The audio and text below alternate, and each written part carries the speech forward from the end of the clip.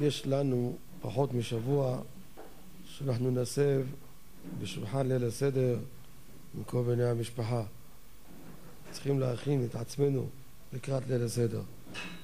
שכל אחד ואחד ידע מה להגיד לבני הבית.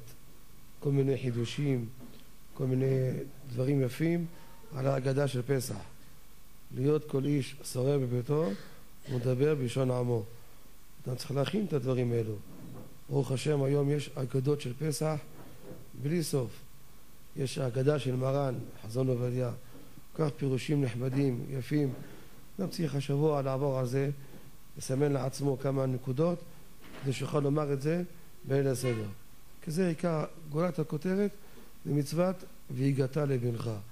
שאדם מספר לבנים, לנכדים, כל סיפור יציאת מצרים, לחזק אותם באמונה. לפעמים ליל הסדר מלווה את האדם במשך שנים, שהוא נזכר ומתחזק באמונה, כל המרבה לספר ביציאת מצרים, הרי זה משובח. מה זה הרי זה משובח? תגיד הרי זה ישובח. נשבח אותו. מה זה הרי זה משובח? הם מסבירים את זה על פי משל. ספינה נמצאת בלב ים. ויש שם עשירים ועניים, גבירים, כולם ביחד. והנה באמצע, בלב ים, היה גלים גבוהים, והספינה חישבה להישבר. עמדו והתפללו, צעקו לקדוש ברוך הוא, הקדוש ברוך הוא שמע על כל תפילתם.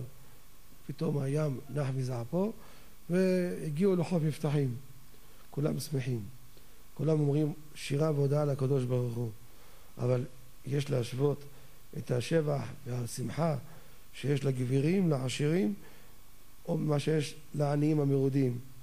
אלו הגבירים, העשירים, יש להם כל טוב העולם הזה, יש להם אה, דירות, רכבים, כל טוב. לכן השמחה שלהם היא יותר גדולה. העניים, מסכנים, מה יש להם בעולם הזה? בסדר, הם שמחים שניצלו ממוות לחיים, אבל אין להם הרבה מהעולם הזה שכך יהיו שמחים. כל המרבה לספר בסיפור יציאת מצרים, זה מראה שהוא כמו אותם העשירים, שהוא מרבה בסיפור, משבח הרבה, אז כמו אותם העשירים, לכן הרי זה משובח, הוא אדם חשוב. בעצם הסיפור יציאת מצרים הוא נחשב לאדם חשוב כמו אותם העשירים, כמו אותם הגבירים. וגם כמו שאמרתי, העיקר הוא שימת לב לילדים הקטנים. יש בזוהר הקדוש ובפרשת שמות רבי אלעזר שואל את אביו רבי שמעון בר יוחאי מפני מה ירדו אבותינו למצרים הוא מפרש את זה על פי הסוד זוהר הקדוש הכל על פי הסוד באמת צריך להבין. אנחנו משבחים את הקדוש ברוך הוא.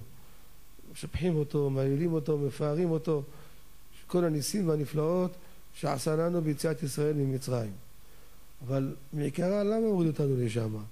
בשביל מה ירדנו למצרים? כי גר יהיה זרעך בארץ לא להם ועבדו ועינו אותם 400 שנה.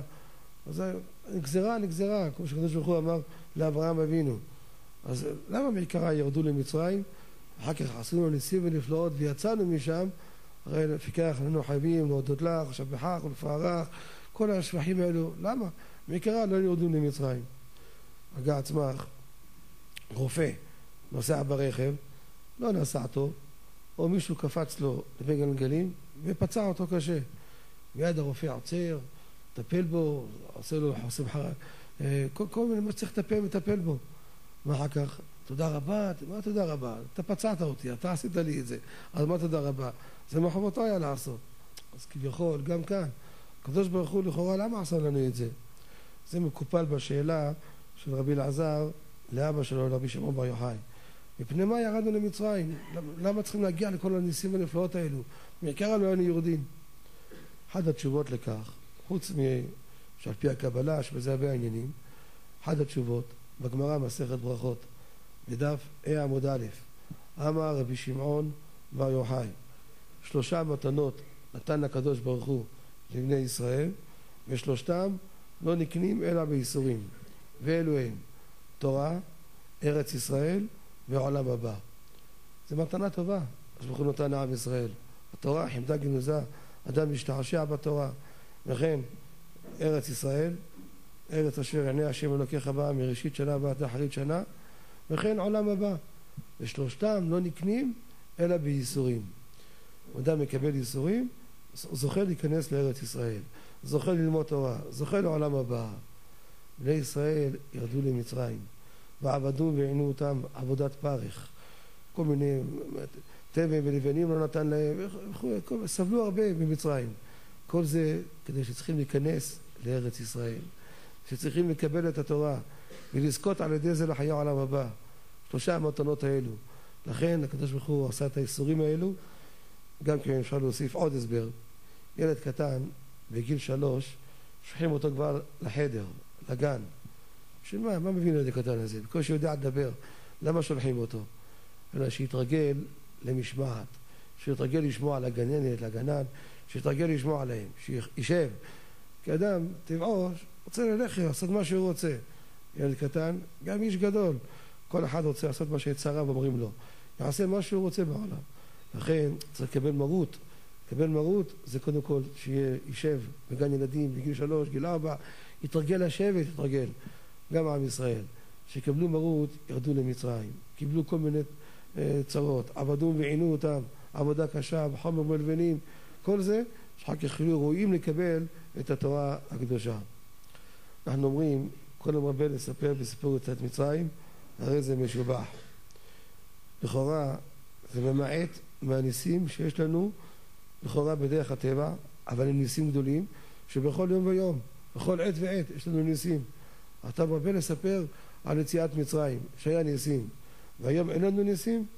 אדם מתבונן על כל מעשה הבריאה, שמיים וארץ, וכל היקום כולו. שמענו פעם שאיזה כוכב התנגש בכדור הארץ, כוכבים מסולותם, השמש זורחת במשך אלפי שנים. זה לא נס שהכל עומד בצורה מסודרת.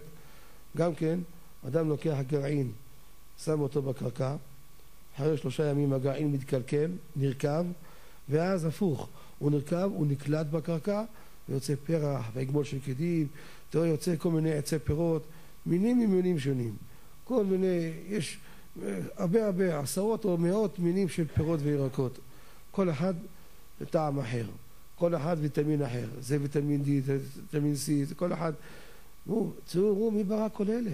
איך אדם לוקח גרעין, שם בקרקע, פתאום, טוב, תגיד טבע. הטבע הזה, מי ברא אותו? מי יצר את הטבע הזה? חיות, דגי הים, כל מה שיש, הקדוש ברוך הוא נותן להם פרנסה לכולם, מבצר קריית לקרני רמים, כולם נותן להם פרנסה. איך כל זה? טבע, טבע, טבע הזה, הקדוש ברוך הוא ברא את הטבע הזה. בבשרי אחזה אלוה. אדם מתבונן מגוף האדם, וזה יכול להתחזק באמונה בקדוש ברוך הוא. יש אדם אוכל, האוכל עובר למעיים, המעיים מפרישים חומצה, שרופים את האוכל, הולך חלק לדם וחלק יורד למטה. נו, איך זה נעשה? יש שש מטר, שש וחצי מטר מהמעיים. ואיך זה, אדם אוכל, יש שם חומצה שמפרישים אותה. אנחנו כבר רגילים בטבע, הטבע. אבל הטבע הזה, מי, מי, יצא, מי עשה אותו? איך ככה גוף האדם פועל? הלב כל הזמן זורק את הדם למוח, למעלה, ועד קצה הרגליים, והאצבעות. כל הזמן, אדם פועל, הלב פועל וזורק את הדם למעלה ולמטה. בלי הפסק. לא צריכים להטעין את הלב. בלי הטענה, 90 שנה, 100 שנה, הלב פועם, אם אדם לא מרגיש טוב, יש לו בעיה בלב, אז משתילים לו קוצב לב. עוד לחמש שנים בבטריה. אבל אדם רגיל, תראה, חי עשרות עשרות בשנים עם המכונה הזו הפלאית, הלב, הכבד, מסנן את כל אדם.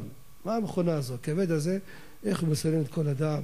מה שלא טוב יוצא לחוץ. איך הדברים האלו? הריאות, אדם נושם בריאות.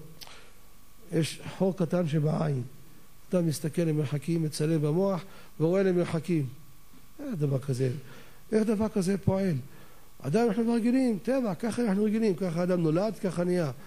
כל מעשה הבריאה, חוש השמיעה, חוש הריח שיש לנו, חוש הטעם שיש לנו, כל זה צור, הוא, מי ברא אלה? מבשרי יחזה אלוה. אז מה, זה לא ניסים ונפלאות? ואניסיך וטובותיך שבכל יום עמנו, בכל עת, כל מה שאומרים ניסים ונפלאות. זאת אומרת, תרבה לספר בסיפור יציאת מצרים. מה, רק זה נס? אין לך עוד ניסים? יש עוד ניסים. ולתשובה לכך, כאשר מרבים לספר בסיפור יציאת מצרים, אה, מתארים את העשר מכות, איך שהפלא השם במחנה ישראל למחנה מצרים, שותים מים, המצרי מסכן, יש לו דם, אין לו מים. מבקש מהיהודי, תשים לי, שים לי מים, לכם יש מים. שם לו מים, הוא בא לשתות, מגיע לפה שלו, נהפך מיד לדם. זה לא רק נהפך למראה של דם, יש בראשונים שמפרשים שזה נהפך לדם ממש, נהפך. וזה תוך שנייה נהפך לדם, איך זה? טוב, בוא נשתה ביחד, אני ואתה. המצרי אומר ליהודי, שותים בכוס אחד. לפה של היהודי מגיע מים, לפה של הגוי מגיע דם, מיד מכיר אותו. מה היו צריכים? אפשר שבוע שלם, כל מכה ומכה, היה להם שבעה ימים. אפשר שבוע שלם אדם בלי, בלי מים, היו צריכים לשלם כסף מלא ליהודים. מאותה מכה, מכת דם, עם ישראל העשירו, נהיו עשירים, קיבלו הרבה כסף. משלם כסף, הוא נותן מחיר גבוה. כמה עולה בקבוק אה, אה, מים? כמו ויסקי, ייקח ממנו. יקר. מה זה מים? אתה לא רוצה, אל תשלם. אל תשלם, אין לו מסכן מים, יכול, יכול למות בצמא. וזה עם ישראל העשירו מאותו מקום. לא, מה, זה לא מחזק את האמונה בקדוש ברוך הוא? אתה רואה שהקדוש ברוך הוא שליט על הטבע. יש טבע שזה מים. פתאום צפרדע, בכל ארץ מצרים, אתה רואה צפרדע בתנורים, כל המקומות, איך זה? זה הטבע, הקדוש ברוך הוא שולט על הטבע. קריעת ים סוף, כל מימות שבעולם, כולם נקרעו לשתיים. אדם נמצא בסין, בהודו, יש לו כוס מים ביד, המים שלו נקרעו לשתיים. שמעו עמים ירגזו. איזה ניסים, מה זה מראה כל הניסים האלו? מראה שהקדוש ברוך הוא שליט על הטבע. ואז אנחנו מבינים מכאן שגם גוף האדם שעובד, גם כל החיות והבהמות והדגים, כל מה שיש בעולם, הכל, זה טבע אומנם. הקדוש ברוך הוא שולט על הטבע. הוא ברא כל אלו, אנחנו מתחזקים באמונה בקדוש ברוך הוא, ולכן כל המרבה לספר בספרות על מצרים, הרי זה משובח. כמו שאמרתי, צריך לשים לב בעיקר לילדים הקטנים. כבר אמר לכם הרב הראשון לציון, הרב בקשי שליטה, בדרך שמעתי אותו, שמרן היה מספר כאן במוצאי שבת, וגם כבליל הסדר. היה מספר, סיפור יציאת מצרים כמו איזה גננת, להבדיל, כמו איזה גנן, גננת, יורד ברמה הנמוכה ביותר. היינו נוהגים בליל הסדר, כל אחד קורא קטע, כל אחד קורא קטע. בנים והבנות, זה לא משנה. כי זה לא מגינה מיוחדת, מגינה רגילה. אין בזה קול באישה ערווה. לא עושים מקם עג'ה, מקם סיגה, לא מנגנים. אפילו אם היו קצת מנגנים, יש בגמרא מגילה כ"א עמוד א', תנו רבנן, הכל עולים למניין שבעה, אפילו אישה ואפילו קטן. אבל אמרו חכמים, אישה לא תקרא בתורה בפני כבוד ציבור. זה לא יפה, בושה, שאף אחד מהגברים לא יודע לקרוא בתורה, מביאים איזו אישה שתקרא בתורה, זה פדיחה. לכן אישה לא קוראה בתורה.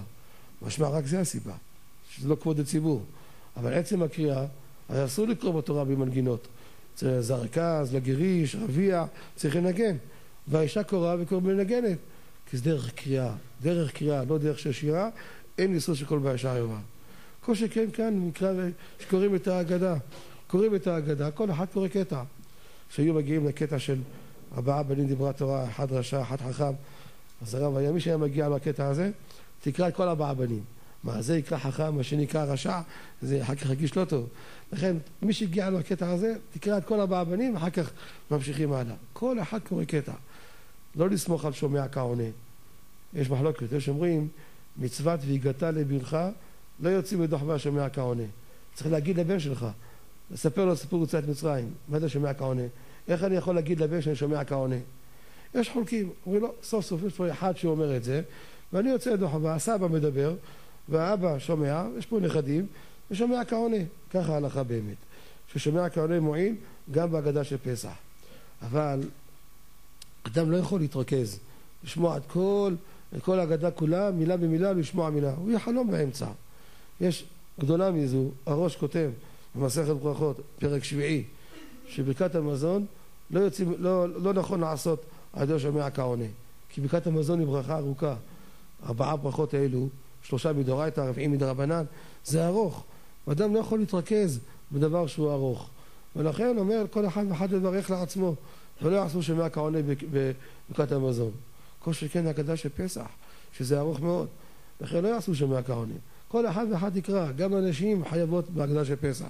כל המצוות של אותו לילה, נשים ואנשים חייבים בהם. שאף אין היו באותו הנס. גמרא מאוד מפורש בפרק עשירי מסכת פסחים, נשים חייבות בארבעה כוסות, מפני שאף אין יהיו באותו הנס. לא רק ארבעה כוסות, כל ההגדה. הרבנית עליה השלום, שהייתה קוראת ההגדה, הייתה קוראה את זה כמו מנה מרגליות. היא היה המנהג שלה במשך עשרות עשרות בשנים, כל שבת קורא את כל התהילים, קורא. ואתה קורא את זה לאט לאט, איזה צדקות, איפה אנשים כאלו היום? כל שבת, כל התהילים. והגדה של פסח, גם כן, אתה קורא את זה מילה במילה, עם מנגינה לאט לאט. אנחנו, הבנים, קוראים את זה יותר מהר. מרן היה עוצר אותנו. מאיפה הגיעה הרבנית? אגיד לכם איזה חידוש, עד שהיא תגיע למקום שכולם מגיעים. צריך להגיד מדי פעם איזה חידוש, שכולם יהיו במקום אחד. לא לסמוך על שומע כעונה כמו שאמרתי. כשמגיעים מהבית, לבית, מהכנסת, סליחה, לבית, מיד צריכים להגיד לנשים, תפעלו ערבית, ותגידו הלל עם ברכה. עכשיו בדברו, אהבת עולם, השכיבנו, הם לא מברכים, אסור להם לברך. שמע ישראל בעמידה, אבל הלל הם מברכים. כל מצוות הלילה, כולל ההלל, כתוב בתוספתא, שיש לילה אחת שקוראים הלל עם ברכה. מתי הלילה הזו? זה ליל הסדר. אנחנו קוראים את זה בית כנסת, אשכנזים לא נוהגים בזה. אבל מרן השולחן ערוך פוסק, כמו התוספתא, כמו הירושלמי, שומרים את ההלל בברכה בליל פסח. אז לא רק הגברים, גם הנשים. כך כותב בספר מהרש אנגל. הוא כותב שגם הנשים חייבות להגיד את ההלל עם ברכה בליל הסדר. הרב יש לו תשובה וחווה דעת, גם הוא כותב ככה, שנשים צריכות לברך על ההלל, ברכה לפניה, ברכה לאחריה, כמו הגברים. כשהיה מגיע לבית, איך שהיה מגיע לבית כנסת, היה אומר לאנשים, פלטתם ערבית? כן, פלטנו ערבית, כמו, כמו כל ליל שבת, מוכנים לקידוש. הלל, לא המון, תגידו הלל קודם כל. היה מחכה להם. עד שיגידו הלל, ברכה לפניה ולאחריה, ואחר כך אומר, מתחיל את הקידוש. נשים חייבות כל המצוות של הלילה הזה. אני אומר לך העולם שהכל נהיה בדברו.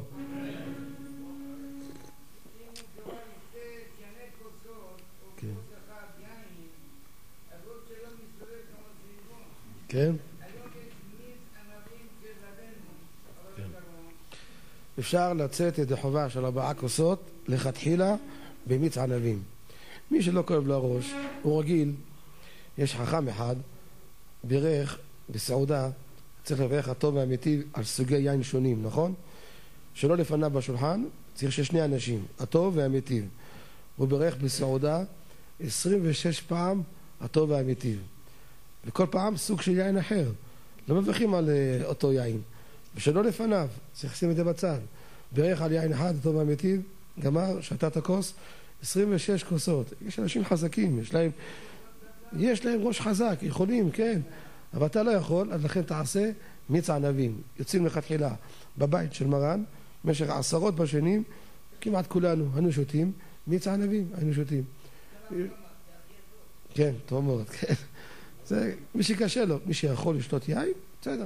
מה שטוב לעשות, לשים קצת יין אדום על המיץ הענבים. אם יש, יש מיץ ענבים צהוב, של תירוש, אז לכן שפוך עליו קצת יין אדום. אל תראה יין כי יתאדם.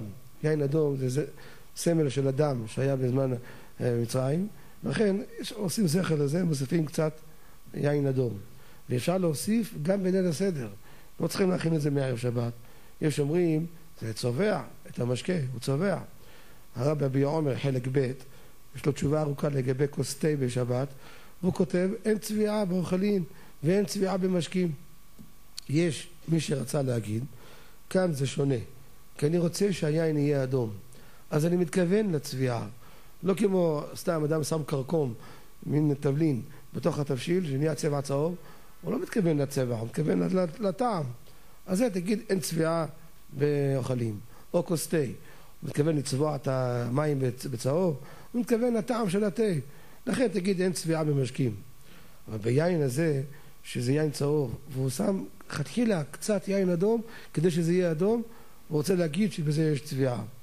אבל נעלם ממנו, הוא כתב ככה הלכה למעשה. אבל נעלם ממנו פרי מגדים שמובא בבי עומר. חבל שלא קרא את כל התשובה בבי עומר. הרב מביא במפורש פרי מגדים, שגם אם מתכוון לצבוע את המים או את היין, אין צביעה במשקים, כשאין דרך צביעה בכך. אדם עושה, מכין כהן הצבע כדי לצבוע את הבית שלו, לצבוע את הדלת שלו. מי צובע את הבית שלו ביין או בכוס תה? זה לא דרך של צביעה בכך, לכן מותר, אין צביעה משקים בכל אופן. זה מפורש של פרי מגדים, והפרי מגדים הזה העתיקו אותו אחרונים להלכה. לכן מותר גם בליל שבת. אדם עושה קידוש, היין צבע צהוב, רוצה שיהיה צבע אדום, קצת יין אדום שם עליו קצת, לא הרבה, והנה חינמי.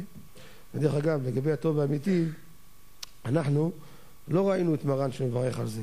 אני אף פעם לא ראיתי אותו. היה פעם אחד העסקנים שהוא אוהב את הדברים האלו, הטוב והאמיתי, והביא לרב עוד סוג של יין. הרב, הטוב והאמיתי, קודם יברך איתנו. אמר לו, בשבילי זה לא טוב ולא אמיתי, מה אתה רוצה ממני? מי שלא רגיל ביין, הוא לא רגיל ביין. מי שרגיל, בסדר, מי שרגיל, רגיל. טוב, נחזור בחזרה, ענייננו. אז, אז כמו שאמרתי, אנחנו עושים ליל הסדר בעיקר, מצוות זיגתה לבנך. לכן צריך לספר להם כמו שמרן היה מספר. כדאי להשכיב את התינוקות, את הילדים הקטנים, בערב פסח. אני זוכר, לפני חמישים וכמה שנים, מרן היה סוגר את התריסים של החדר, של הילדים, ומשכיב את הילדים כולם לישון. ולא היינו רוצים לישון, ילדים קטנים רוצים לשחק בהפסקת בצהריים. איפה קטן יושן? אבל היה מכריח אותנו לישון. היה מי שהיה צועק עליו, לך לישון. למה? כדי שבלילה יהיה לנו כוח לקיים את כל מצוות הסדר. אם לא, אדם לא כל היום ילד משחק, מגיע לו לסדר, מגיע עייף. יש כאלו בשביל זה מקדימים את הסדר. עושים את זה מוקדם, את הסדר. זה תלוי כמה מוקדם אתה יכול להקדים. כי כל שבת אתה יכול להקדים מפלג המנחה. עכשיו התחיל שעון קיץ. וילדים קטנים, אם נשארים ערים עד שעה שמונה וחצי, תשע, עייפים. יש בתי כנסיות, יש להם גם שיר השירים וגם דרשה של החכם, ויש חכמים שלא יודעים לקצר, ומעריכים, במקום שאמרו לקצר, מעריך, כן? ואחר כך מגיעים לבית בשעה שמונה וחצי, תשע. עוד מעט השקיעה תתאחר, עוד כמה זמן. יגיע השקיעה בעשרה לשמונה, רבע לשמונה יגיע השקיעה. עד שפעלו, עד שגם שיר השירים. צריך לוותר על שיר השירים. יותר עדיף דרשה של החכם. זה יותר עדיף. אם יש לך ברירה, שיר השירים, או החכם דורש, תוותר על השיר השירים. כשהרב היה רב ראשי במצרים, בקום המדינה, לפני 67 שנים, היו אומרים בציבור שיר השירים במנגינה מצרית, ככה לאט לאט, כמו שעושים פרקי אבות. הרב היה יוצא יחד עם קבוצה של האנשים, לעזרת נשים, ולמדו את איסור והיתר. אמר לי הרב, גמרנו את כל איסור והיתר עם באר היטב במשך הזמן הזה של, ה, של השיר השירים. לא יודע כמה, שנתיים, לא יודע כמה זמן, אבל גמרו את כל איסור והיתר. יודעים מה זה איסור והיתר? כל הלכות מליחה, הלכות ערבות, הלכות בשר בחלב, 31 סימנים ביורד יעש, יש ביניהם סימנים קשים ביותר. הספיקו ללמוד את זה ב-20 דקות, חצי שעה של השיר השירים. עדיף יותר, דרשה של חכם. אם זה לא שעון קיץ, סתם, אתה עושה גם שיר השירים וגם דרשה של חכם, מה יש? אבל אם זה שעון קיץ, קשה לאנשים, אכלו בצהריים, קשה להם עד שעה מאוחרת. טורח ציבור, רבותינו כמה הקפידו על טורח ציבור. אמרו שעולים, שלושה עולים שני וחמישי. למה אנשים ממהרים למלאכה שלהם? חול המועד, שאין מלאכה, עושים ארבעה עולים. נו, עולה אחד לספר תורה, עוד כמה פסוקים. זה כבר נקרא טורח ציבור. כל שכן פה, שעושים גם את זה וגם את זה. צריך להתחשב בציבור. שיש לך בעיה כזו, או שיר השירים, או דרשה של חכם, דעתו של מרן, זכר צדיק לברכה, של להעדיף דרשה שמזכה את הרבים. כמה אדם יכול להרוויח מדרשה של ליל שבת. שבת שעברה, אני הייתי בסן פאולו, בברזיל, ובליל שבת התפללתי באיזה בית כנסת, לא יודע, פי כמה מכאן, פי, פי ארבע עולם מהמקום הזה. והיה מלא מפה לפה, מפה לפה, מכל החוגים, דתיים, לא דתיים, כולם באו לשמוע, ולא זכות הרבים, אז לא אמרו שיר השירים, ודאי, אין שיר השירים, אמרנו ישר את הדרשה. אדם יכול להעריך קצת, חצי שעה לדבר. זו הזדמנות לחזק את האנשים בדברי יראת שמיים, דברי מוסר, או בדברי הלכה, כל אחד מה שיכול לחזק אותם, שיחזק את הציבור. כשהייתי לפני כן במקסיקו, לצערי הרב, היה בכנסת של הדמיסקאים. אוקיי, מלא מפה לפה, מאות אנשים, אני לא מגזים, מאות אנשים. אבל לא כולם שם חזקים. גמרנו את התפילה, אני רואה אותם יוצאים עם רכבים.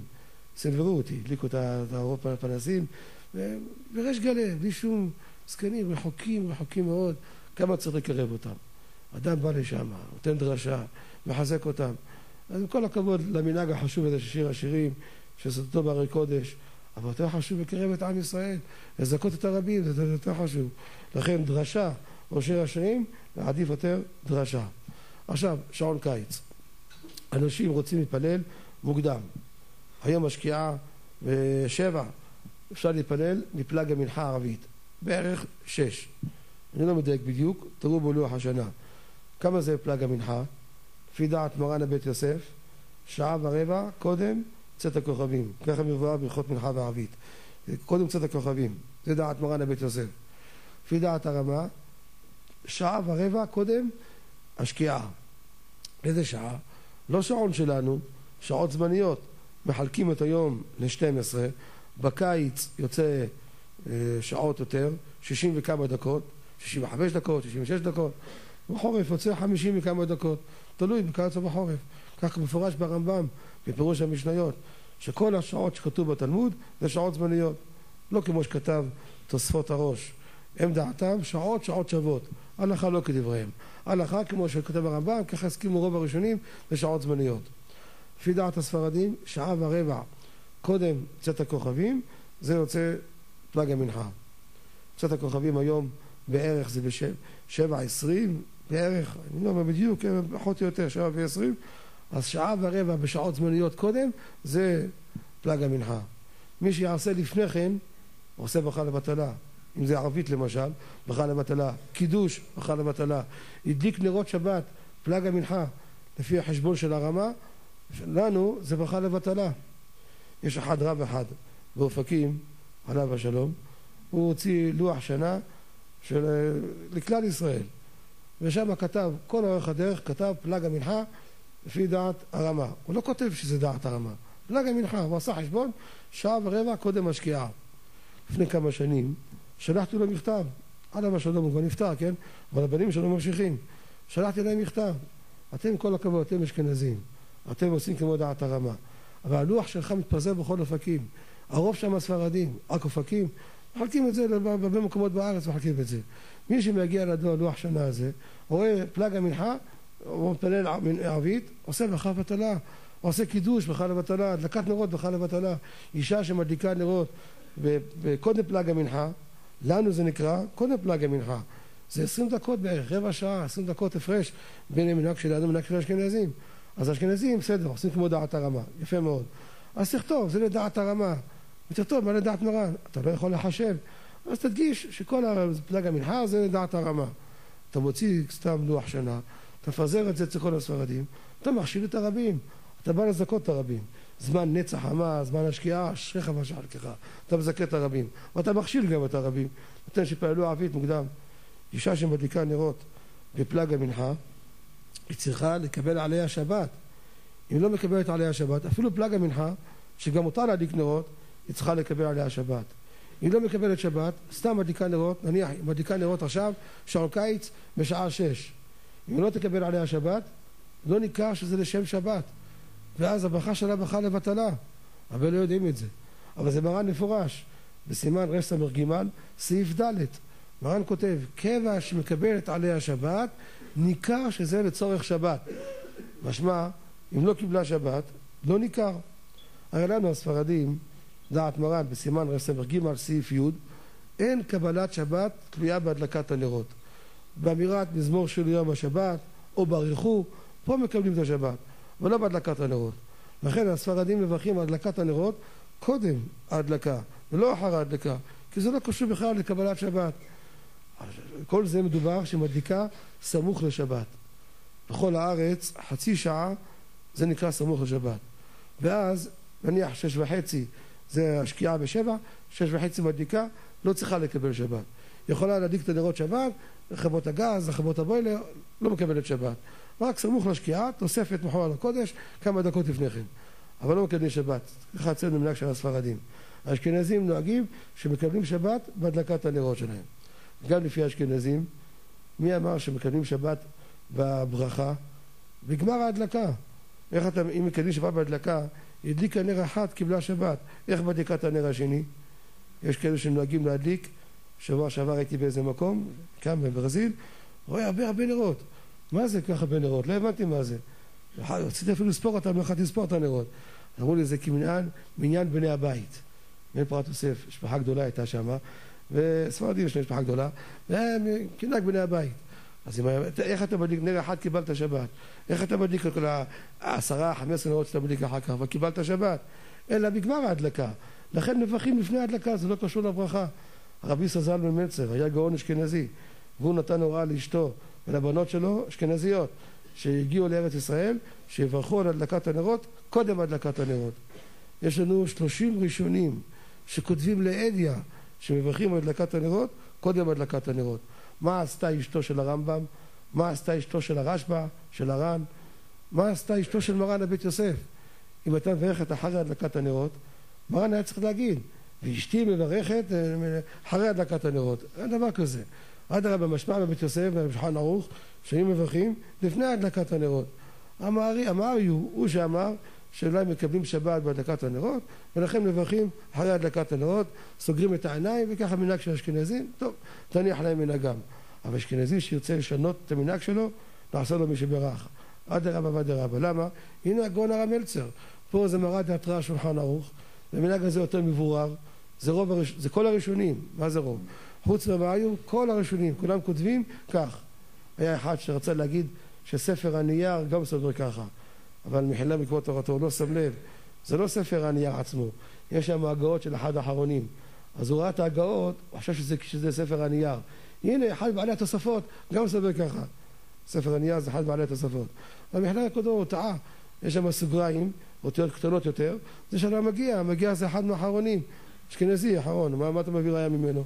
טוב, לכן גם אשכנזים, אם רוצים לשנות, נעשה להם ישיבה כמו שאמרתי. אבל הם נהגו, בסדר, נהגו, נהגו. אנחנו הספרדים ודאי צריכים לנהוג קודם כל לברך ואחר כך להדליק. ולא מקבלים שבת. אבל אם מדליקים בירושלים 40 דקות קודם השקיעה. בכל ערי הארץ חצי שעה קודם השקיעה. זה כבר ניכר לכבוד שבת. למה אני מחלק בין ירושלים לבין ערי הארץ? כי בירושלים יש אזעקה, איך זה, יש אה, מודיעים על השבת. זה יצא מהרב טיקוצ'ינסקי. זה לא היה לפני כן בירושלים לפני כן היו מדליקים נרות כמו כל הארץ. ואחר כך יצא בגלל הרב טיקוצ'ינסקי המנהג הטוב, הזה, מי שיכול לנהוג בפרט בקיץ, תבוא עליו ברכה, שמדליקים נרות 40 דקות קודם השקיעה. אז כבר אתה שומע, יש לפעמים שירים או אזעקה, לא יודע איך עושים את זה בדיוק. אבל אתה יודע שבשעת המנהג, שככה מדליקים האשכנזים. כשיצא אלקוט יוסף על שבת לפני 25 שנה, אולי יותר, קיבלתי טלפון יום אחד מהגאון הרב שלמה זלמן נוירבך. אמר בטלפון, שלום, מדבר שלמה זלמן נוירבך. אמרתי לו, מי? לא, לא, לא הבנתי. הוא לא אמר לעצמו הרב. אמרתי לו, הרב נוירבך? כן, כן. תראו איזה ענווה שלו. גדול הדור, מתקשר, שלמה, אתה יכול לבוא אליי? יש לי משהו לדבר איתך, אתה יכול לבוא אליי? אמרתי מה זה, אני מתי שהרב יכול, אני יכול לבוא עכשיו. כן, כן, תבוא עכשיו. מיד לקחתי מונית ונסעתי אליו. מה הוא רצה? כתוב בילקוט יוסף, המקור זה יביע עומר חלק ה', ואני לא מכיר בביע עומר, זה תלמידי חכמים, לא חכמים כולם שם, לא דיברתי עליו, אלו שבאו אצלו, תכף אני אגיד לכם. הם לא מכירים בביע עומר, מכירים בילקוט יוסף. שם כתוב שמנהג הספרדים מדליקים נרות שבת רבע שעה לפני השקיעה. מקסימום עשר דקות לפני השקיעה, לא לצמצם, לפעמים השעון לא מדויק, לפעמים ערים, ערים, גבעות, לכן אנחנו לא מצמצמים יותר מדי. עשר דקות לפני השקיעה, ככה מנהג הספרדים. לא נוהגים להדליק נרות בערב שבת לפני השקיעה 40 דקות. אנחנו לא עושים את זה, הספרדים. רק כתוב ביקוד יוסף. וזה מקור של רבי עומר. ועד למשמרת השבת שהיה בזמנו, לא יודע מי הוועד הזה, הם באו לרבו יבח, אנחנו צריכים להוציא חרם על הספר הזה.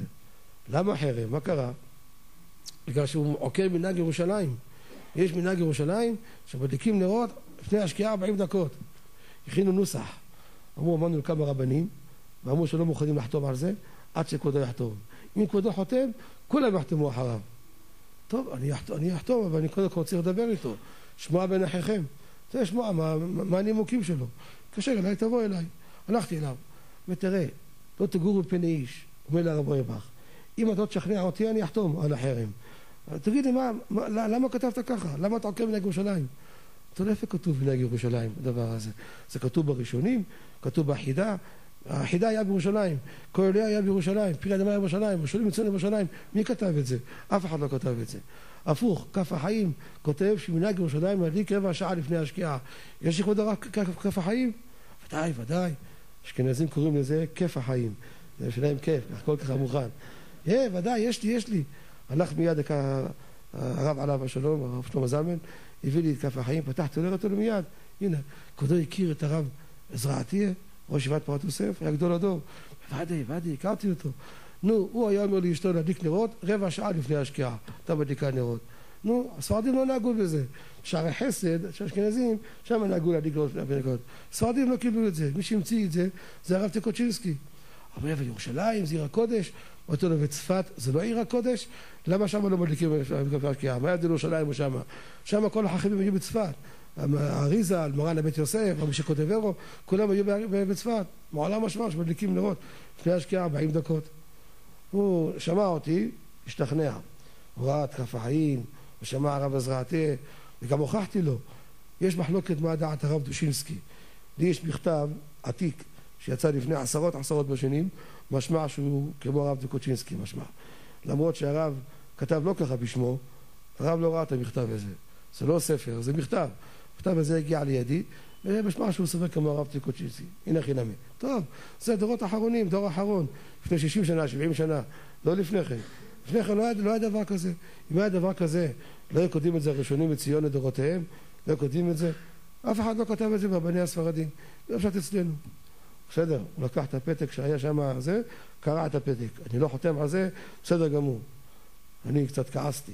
אמרתי לו, הרב, על זה קראו לי, קראו לי על הדלקת הנרות, כל מה שיש היום, כל הבעיות שיש היום, שנשים הולכות מפאה נוחית, יותר מדי ככה, כל מיני דברים שיש, על זה לא צועקים, רק על זה צועקים, זה הבעיה של הדור שלנו, הדלקת הנרות. דיברתי ככה בכעס. הוא ככה התחיל להרגיע אותי, לא, לא. וסיפר לי סיפור, הוא אומר, תראה, לפני כמה שנים, שנת תשמ"ו, בא אצלי איזה גביר אחד מאמריקה. הוא ראה את יביע עומר. אז היה בסך הכל שישה כרכים, יביע עומר. ואני רוצה את הספר הזה. לא היה להשיג אותו. כמה שנים טובות, לא היה, לא היה קשה להשיג אותו. אני רוצה את הספר הזה, חייב אותו. מה אתה רוצה? אני גם מעיין בזה, אני גם רוצה אותו. הוציא עשר אלף דולר ושם על השולחן. כבוד הרב, תיקח את הכסף הזה, אני לוקח את יביע עומר. מה שווה לי הכסף? אני רוצה את יביע עומר. אבל הוא הפציר ברב הרבה, ולא יכולתי לעבור להפצרות שלו. לקח את יביע עומר, הצטערתי. באותו יום, ספרי לרב אויבך, באותו יום בערב דופק בדלת הנהג של הרב, של מרן. מביא מתנה לרב אויבך, יביע עומר החדש שיצא לאור. מאיפה ידע? רוח הקודש. הרב שלח לו את כל יביע עומר החדש. והיה לי צער של כמה שעות שהצטערתי, אבל באותו ערב קיבלתי בחזרה. הוא סיפר לי את זה כדי לפייס, להפיס את דעתי. ואני כעסתי, מה, על זה עושים רעש, על זה רוצים להוציא חרם, על מה חרם? מה מנהג ירושלים? אנחנו הספרדים לא נהגנו בזה. אבל אני אומר, נרוויח מהמנהג הזה דבר אחד. אם הנשים מדליקות 40 דקות קודם השקיעה בירושלים, כמו שהרבה אשכנזים יש בירושלים, ברוך השם, בפרת יוסף, ואז הם מדליקים בשעה כזו, אז זה ניכר לכבוד שבת. לא צריכה לקבל עליה שבת. כל הנקודה היא שזה יהיה ניכר לכבוד שבת. יש מי שרצה להגיד שאם מדליקים שתי נרות בפמוטים, אז זה ניכר לכבוד שבת. פעם, בזמנם, לא היה חשמל. אז יש בבית הרבה נרות שמן, ויש עוד שתי נרות לכבוד שבת. אז זה לא היה ניכר. אז צריכים לברך, צריכים לקבל שבת מוקדם, אז זה היה נקרא, נקרא לכבוד שבת. היום זה פמוטים. איך ראיתי אחד שכתב באיזה קובץ מעשה אבות, אבל מחילה מכבוד תורתו. הוא יודע מה היה בזמנם? לפני 700, 800 שנה, ואז לא היה פמוטים? מי אמר שלא היה? אולי גם אז עשו מאבן, עשו מדון כאלו, אתה לא רואה כל מיני עתיקות, אתה רואה גם שם, אתה רואה חנוכיות, אתה רואה פמוטים, לפני מאות מאות בשנים. אז אתה עושה השערה, ולפי זה אתה עושה חילוק, אתה מחלק, החילוק הזה הוא לא נכון. מה שאמרתי, צריך לקבל שבת אם מדליקים מפלג המנחה. צריך להזהיר את האישה. אם מדליקה מוקדם, רוצה לנסוע לכותל המערבי, או לכל מיני מקומות, להורים שלה וכדומה, היא לא יכולה. ברגע שמדליקה נרות בשעה שש, קיבלה עליה שבת. איך היא תיסע? איך היא תיסע? לכן, תמנה את השכן, השכנה שלה. הרי פה מדובר שהיא נוסעת ואחר כך חוזרת לכל הבית שלה. חוזרת לישון בבית שלה. אם לא כן, למה צריכה לחלק נרות? הולכת להורים שלה, יושנת שמה, אוכלת שמה, תדליק שמה באיזה חדר שמייחדים לה. אלא פה היא חוזרת בחזרה לבית שלה. השכן שלה, השכנה שלה, תגיד לה, אני הולכת עכשיו, חייבת ללכת לאיזה מקום חשוב, אין לי ברירה, צריכה לצאת בשעה שש, שש ורבע, עוד לא הגיע הזמן. אם אני אדליק עכשיו, צריכה לקבל עליי שבת, אני צריכה לנסוע, היא בעצמה נוהגת. לכן, השכנה תבוא, תדליק בשעה שש וחצי, רבע לשבע, היא תדליק בשבילה השכנה. ואפשר, זה שליח של אדם כמותו, שליחות, יכולה להדליק בשבילה. או שבעלה ידליק, יותר טוב, יותר עדיף שבעלה ידליק. הוא חלק מהבית, בעלה הוא הבן הגדול, אחד מבני הבית שגם הוא ידליק. והיא מדליקה 40 אה, דקות קודם השקיעה, היא לא צריכה לקבל עליה שבת. בירושלים, בכל רחבי הארץ, 30 דקות קודם השקיעה, זה נקרא סמוך לשבת, היא לא צריכה לקבל עליה שבת. מדליקת הנרות, יכולה אחרי זה לנסוע כמה, שהיא רוצה אחרי זה. אין לה הרבה זמן לנסוע, יש לה רבע שעה לנסוע. רק שלא יזרקו עליה אבנים, כן? רבע שעה זו עדיין מותר לנסוע, לא מקבלים שבת, מותר, מותר לנסוע. אם עושים מוקדם, צריך לשים לב בדבר הזה. זה הכל קובע פלג המנחה. כמו שאמרתי לכם, פלג המנחה זה שעה ורבע קודם צאת הכוכבים.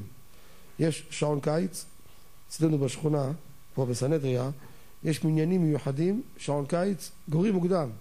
אנחנו הולכים להתפלל מנחה, הם כבר חוזרים כבר מערבית. מי שיש לו ילדים קטנים, בעיקר עושה את זה.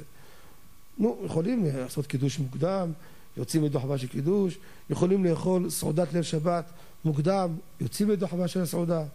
ככה בשניים אמרה לשולחן ערוך. אם כי הבית חדש, והמגן אברהם, תוספת שבת, והמשנה ברורה, הם חולקים. הם אומרים, כתוב בגמרא, איכלו היום, כי שבת היום, לא תמצאו היום בשדה, זה לגבי המן. מפה למדנו שלוש סעודות שבת. אז כתוב היום, היום, היום. צריך לאכול ביום שבת. אדם שמוסיף מחול על הקודש, מתי מוסיף? הוא מוסיף בשעה, נגיד, שש ורבע מוסיף?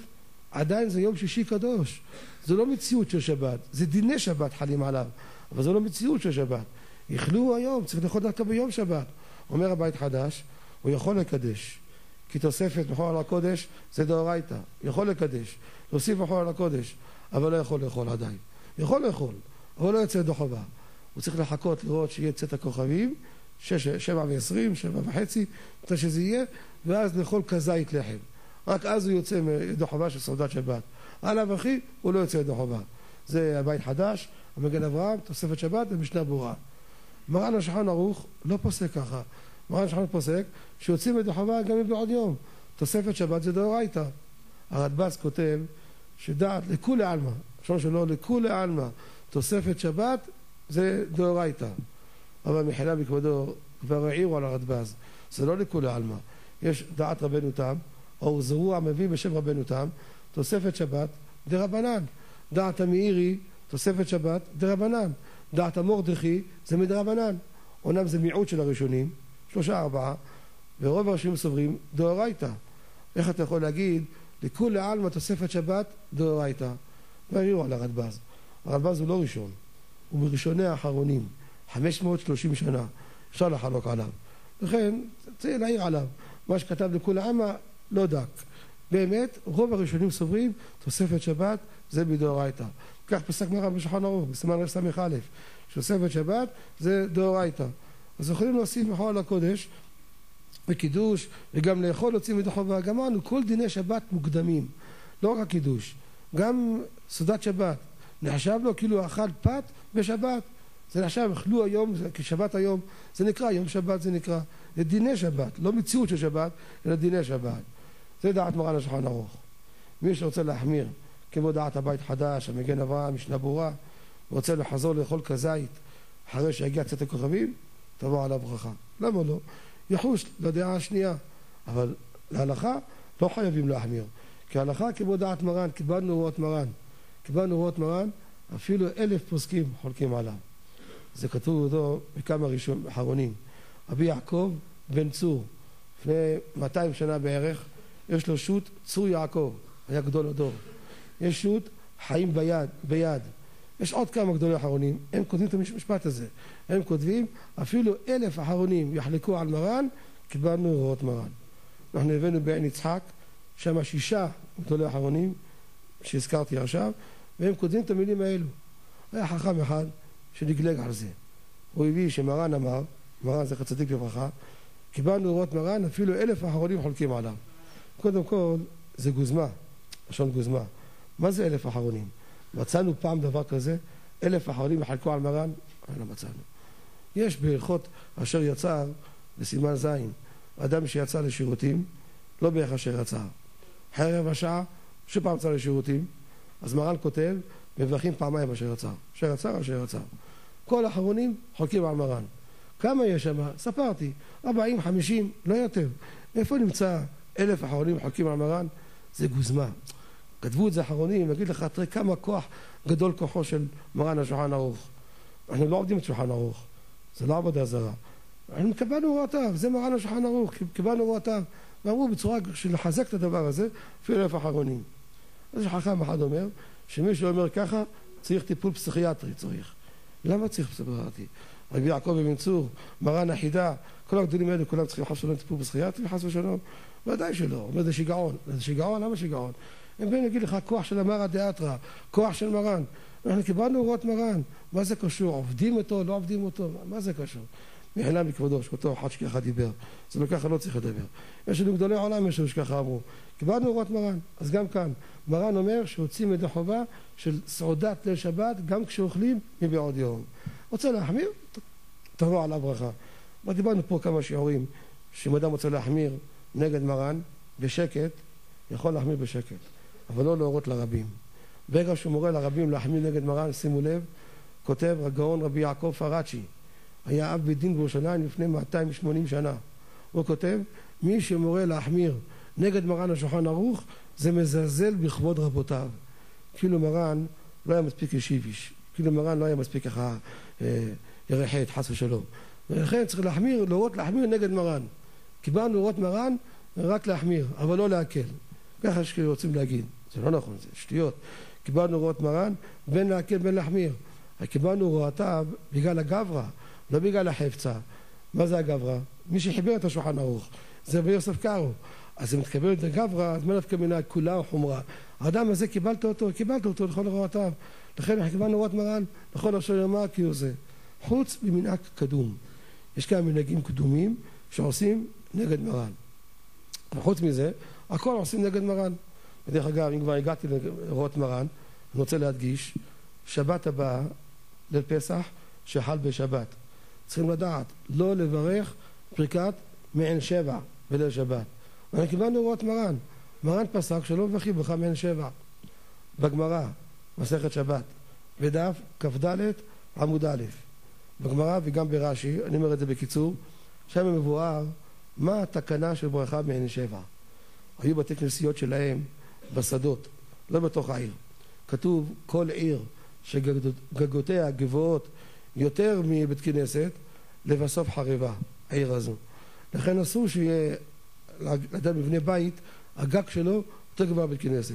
צריך שיהיה כנסת, הולכים לכנסת הגדול של העיר, כמו למשל נגיד כנסת הגדול, שם זה הכי גבוה, אל תעשה בניין יותר גבוה מזה.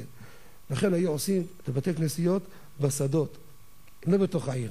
כי בתוך העיר רצו לבנות בניינים, רצו לבנות. היום מקינים בזה. למה מקינים בזה היום? בונים הרבה בתים. המאירי. המאירי כותב שעושים לדיורים שאני. לא עושים את זה ליופי, לנוי. בונים בית כנסת, יש שם כיפה, ועושים את זה לנוי, ליופי. מה אתה בונה בניין לנוי? כנגד זה יותר גבוה ממנו. זה אסור. אבל כשאתה בונה לשם דיור, אתה בונה בית גבוה על משרדים או לדיור, כותב המאירי, אין בזה איסור. מסמכו העולם על דברי המאירי. ככה מנהג פשוט היום, בונים בתים גבוהים יותר מהיזדים, יותר גבוה מהיזדים בונים. למה? כי זה עושים את זה לדיור, לא עושים את זה בשביל אה, יופי, בשביל נוי. אז זמנם היו מקפידים, היה בתים נסיעות בשדות. באים להתפלל ערבית, רש"י משמע שבימי החול היו מתפללים ערבית בבית, כל אחד. כערבית רשות, קיבלוה כחובה, היה קשה להם לבוא פעמיים, לא היה חשמל, לא היה פנסים, היה חושך, היו בזה מתפללים בבית שלהם. ערבית רשות קיבלוה כחובה. בליל שבת היו באים להתפלל לבית כנסת. למה? יש אומרים לפי דעת הזוהר הקדוש, אם כי זה לא פשוט, שבליל שבת תפילת ערבית חובה. וברכה מעין שבע זה כמו חזרת השץ. זה דין שלו שונה מכל הערבית. מתפללים בבית כנסת, אם אומרים את התפילה מהר, מי שמאחר יכול להיכנס ללחץ. עוד מעט יגמרו את התפילה ואני אשאר ככה לבד, אני אבוא לידי סכנה. לכן מה עשו רבותינו? מחשש סכנה, יש כתוב שבליל שבת יש מזיקים. יש משהו מיוחד שמזיק בליל שבת. לכן תקנו ברכה מעין שבע בכל עם ישראל, כשאלו שמאחרים, שימו לב, עשו תקנה למאחרים. שמי שמאחר, הוא יוכל לחזור בחזרה ויהיה רגוע. היום יש פנסים, יש מכוניות, יש אור בחוץ. אז לא היה ככה, היה חושך אפלה. בפרט בימים שאין ירח, היה חושך אפלה. אדם, הבגס יצא בחוץ, בשדה. חוזר מהתפילה, מפחד שלא יבוא חיות, יבוא זאבים, כלבים, היה מפחד. הייתי באחד הראשונים שמוסיף הסבר, זה לא רק פני הסכנה, תקנו את זה חכמים שיוכלו לכוון בתפילה. איך אדם יכול לכוון תפילת שמונה עשרה שהוא מפחד? כולם הולכים, הולכים, אני אשאר לבד, אני אחזור בחושך, אני אפחד, הוא לא יוכל לכוון. תקנו ברכה בכל עם ישראל. למה האחרים האלו, זה שהוא יוכל לכוון. תבינו מכאן כמה החשיבות של כוונה בתפילה. תפילה בלא כוונה, כגוף בלא נשמה. תקנו במיוחד בשביל זה. אבל מרש"י, מספר הבתים, כל השונים משמע לא בדיוק ככה. משמע שכל התקנה הייתה בשביל הסכנה, שלא יבואו לידי סכנה. ליל פסח, ליל שימורים הוא להשם. לילה משומר רובה מן המזיקים. לא צריכים שאני אגבח את הברכה הזו. אנשים מאחרים, גם אלו שמאחרים, לא צריכים לפחד. לילה הזו אין להם לפחד. לא ישלוט בהם שום אה, שדים ורוחות, ולא מזיקים, לא שום דבר לשלוט בהם. לכן לא צריכים להגיד ברכה מעין שבע בליל פסח שלך בשבת. מי כותב את זה? זה כותב את זה, רב ניסים גאון כותב את זה. רק הוא, הריטב"א, התוספות, יש לנו להקת ראשונים, הרבה ראשונים, כמעט רובם ככולם סוברים ככה, כמעט כאילו דבר הזה, ש... שלא לא אומרים לך מעין שבע בליל פסח, שלך בשבת. זה מעניין, אתה עושה עניין אחר, אחר כך קשה לחזור לעניין. מאותו עניין? כן. שבוע הבא שיעור רגיל. למה, למה שונה? מימונה זה לא שבוע הבא. אתה מתבלבל. כן, שבוע הבא שיעור רגיל, כן. מתחילים בעשר את השיעור, בעזרת השם. הרב המקדים יבוא, נגיד לו שיבוא בתשע ועשרים, עד עשר, ובעשר יהיה שיעור עד אחד עשרה. מה שעה? לא הספקתי שום דבר. אה, לא, נחזור. טוב, השבוע הבא, תגיד בליל שבת, לא להגיד ברכה מעין שבע. למה זה דעת הראשונים, כמעט כל הראשונים, הכלבו, הרעה, התוספות, הריטב"א, המסים גאון, כולם, אור זרוע, כולם כותבים את זה. למה אני מערער על זה? כי יש דעת הרשש שהוא כותב שיש להגיד ברכה מעין שבע גם בערב פסח שחל בשבת. ואם כי שעל פי הקבלה אין הכרח לזה, מכל מקום בתלמוד שלנו לא חילקו. בגמרא כתוב סתם, להגיד ברכה מעין שבע, ולא להגיד יום טוב באמצע, כי זה בא מחמת שבת. זה גמרא שבת כ"ד עמוד א'. לא חילקו בין הפסח שחל בשבת לבין כל שבת. זה מי כותב את זה? הרשש. משמע שהוא מדבר על פי הפשט, לא על פי הקבלה. הרב פעלים הבין לא ככה. הוא הבין שכל הכוח של הרשש זה בא על פי הקבלה. אבל מי שיקרא את הרשש, לא כתוב על פי הקבלה. כתוב כי בתלמוד שלנו לא אמרו חילוק בזה. הוא כאילו חולק על הרב ניסים גאון. באמת תמו עליו. איך אתה יכול לחלוק, עם כל הכבוד לרשש, רבנו הרשש, שהיה מגאוני הדורות, אין ספק. חולק על הרב ניסים גאון, על האור זרוע, על התוספות, על הריטב"א, על כל הראשונים. איך על השולחן ערוך שקיבלנו בהוראותיו. היה הראשון לציון, רבי אברהם חיים גגין, קראו לו אגן, הרב, הרב אגן.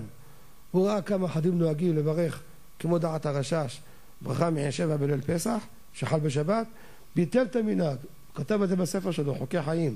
כתב שמה שצריך לבטל את המנהג הזה וצריך לחזור בחזרה למנהג הקודם. מרן הבית יוסף כותב שהמנהג פשוט שלא מברכים ברכה מעין שבע בפסח שחל בשבת. גם הרדב"ז כותב שככה המנהג, הם מעידים גם למנהג, לא רק ההלכה. הרדב"ז ומרן השולחן ערוך, שתיהם מעידים שככה המנהג. שנה שעברה איזה חכם אחד יוציא חוברת שיש לברך ברכה מעין שבע לפסח שחל בשבת. ופרסם אותה בכל בתי כנסיות. מישהו תרם לו כסף, מסכן אותו אחד שתרם, תרם לו כסף, וחילק את זה באלפים ורבבות בכל רחבי הארץ. והכשיל את הרבים שמברכים ברכה לבטלה. הרי כל הראשונים, כולם כותבים שלא מברכים ברכה מהשבת השבת. מרן השולחן ערוך, החידה כותב, שמעתי בשם רבנו הארי ז"ל שאמר שגם על פי הסוד אין לברך ברכה מעין שבע בפסח שחל בשבת.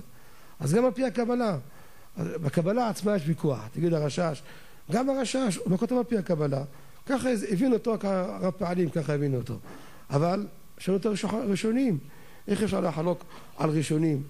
תמהים באמת על רבנו הרשש. איך הוא חלק על רבי שים גאון? מה הוא כותב? כי בגמרא לא חילקו ביניהם. הגמרא לא חילקו, רבי שים גאון והקולבו והריטב"א, כולם כתבו את הסברה הזו, זו סברה חזקה. זה ליל שימורים להשם, לא נצא פחד מהמזיקים.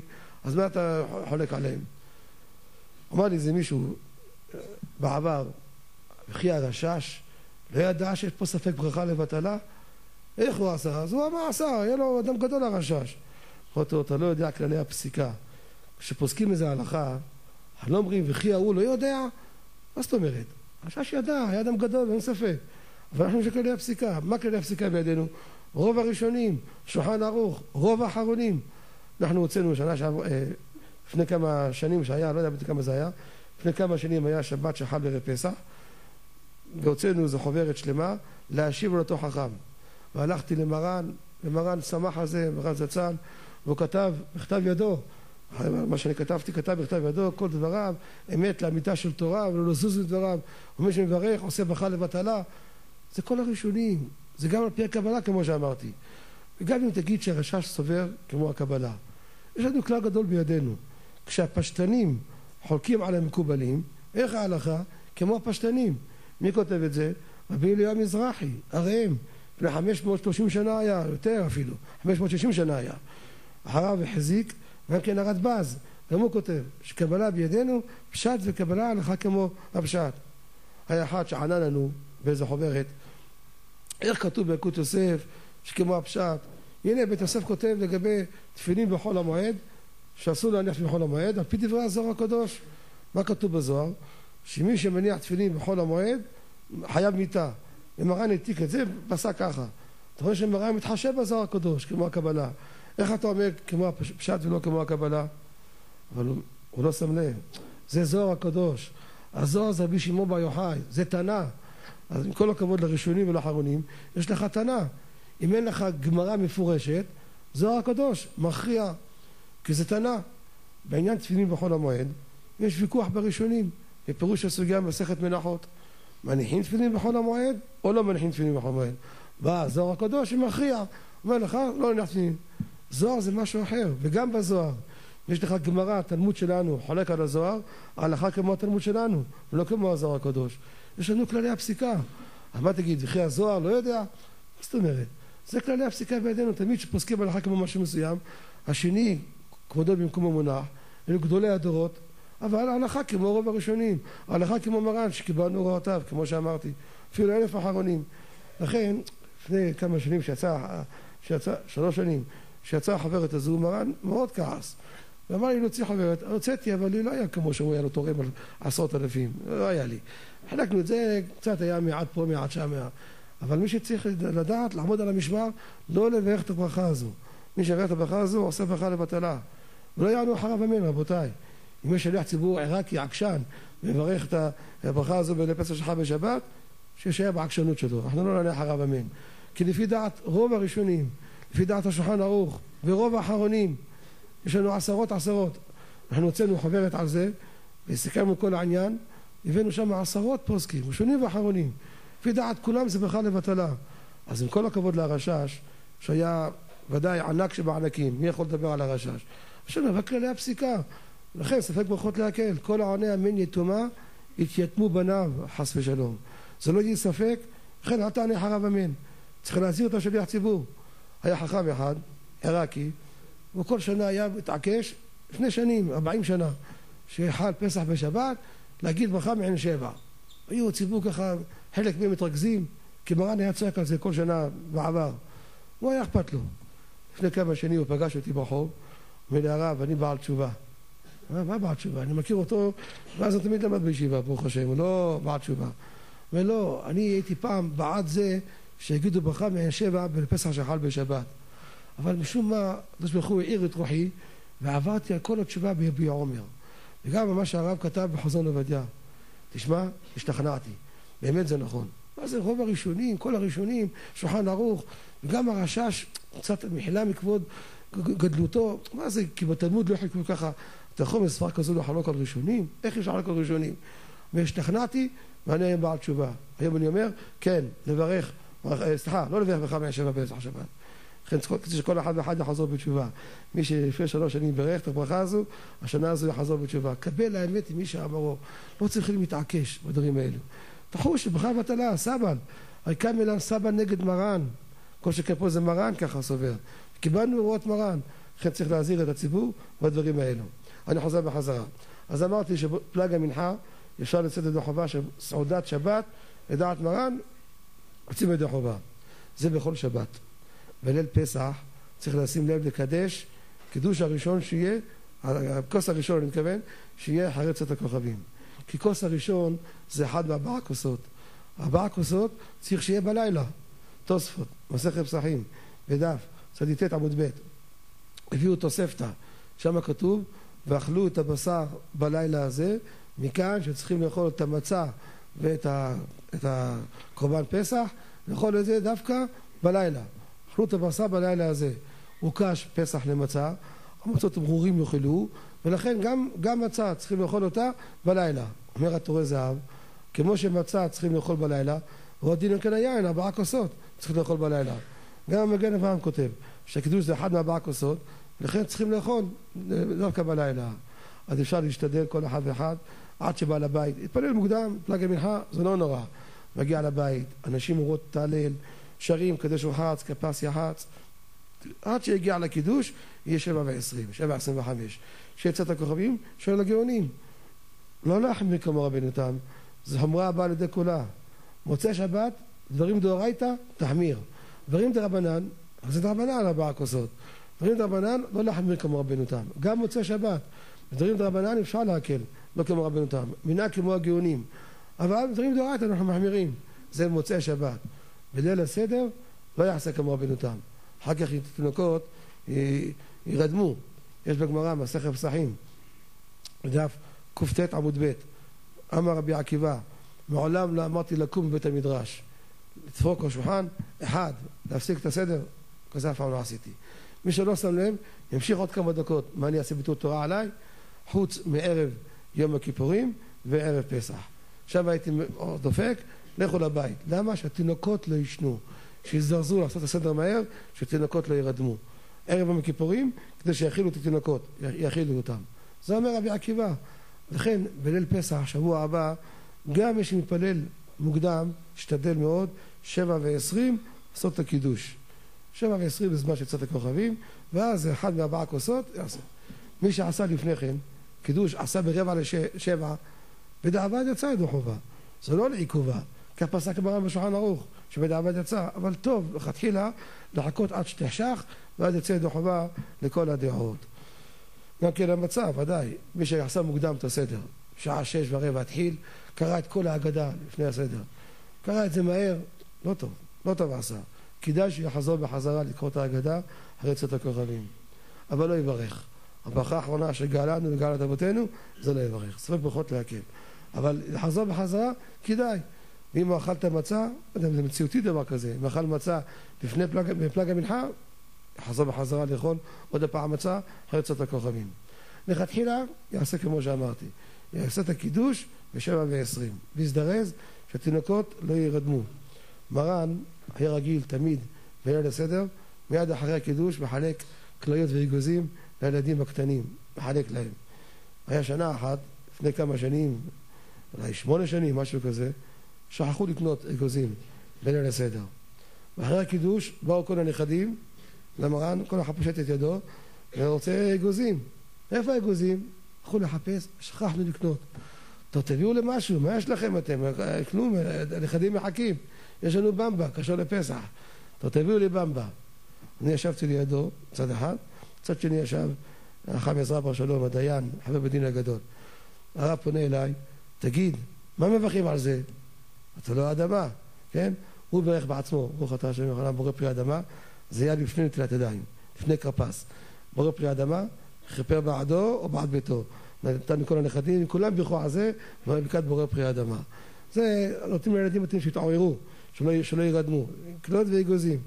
ילד קטן שיודע לקרוא, לתת לו לקרוא. אפילו שהוא קורא לאט לאט. זה מעכב את הציבור, זה לא משנה.